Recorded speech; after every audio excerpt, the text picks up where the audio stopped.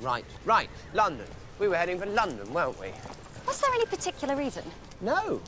No, just thought you might like it. Yeah.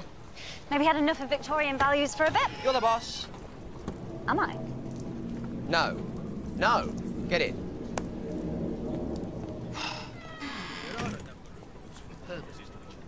Now, Ada, I'd love to stay and help clear up the mess, but... I know, dear monster, you have things to do.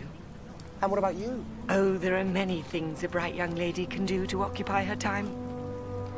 It's time I stepped out of the darkness and into the light. Good luck, Ada. You know, I think you will be just...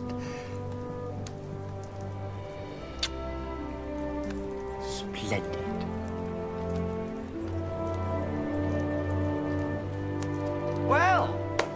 Thanks a million, you three.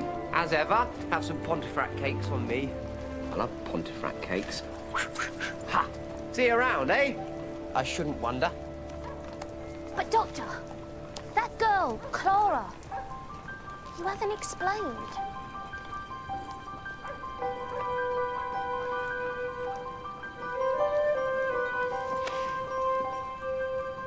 No.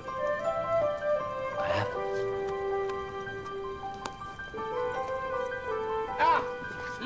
The muck in here. Right. Another one for the vault. Oh, there you are. I called to see if there had been any progress.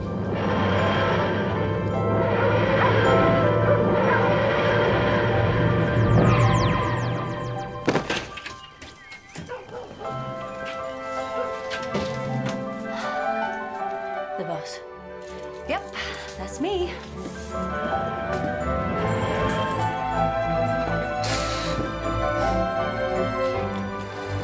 I am the boss.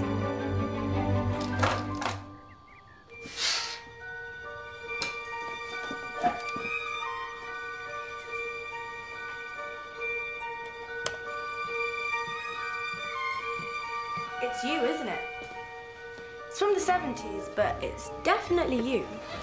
Of course it's not. And that's you too. 1983. I found it at school. No, that's just someone who looks like me. And that's someone who looks like your boyfriend. Is he an alien? Why would he be an alien? The chin. And the time travel. That's not right. You're in Victorian London. No, I was in Victorian Yorkshire come you didn't tell us? Time travel, that's so cool. Can we have a go? Can you have a what? We want a shot at the time machine. No, no, no, no, no. Listen. Okay. Or we'll have to tell Dad that our nanny's a time traveller.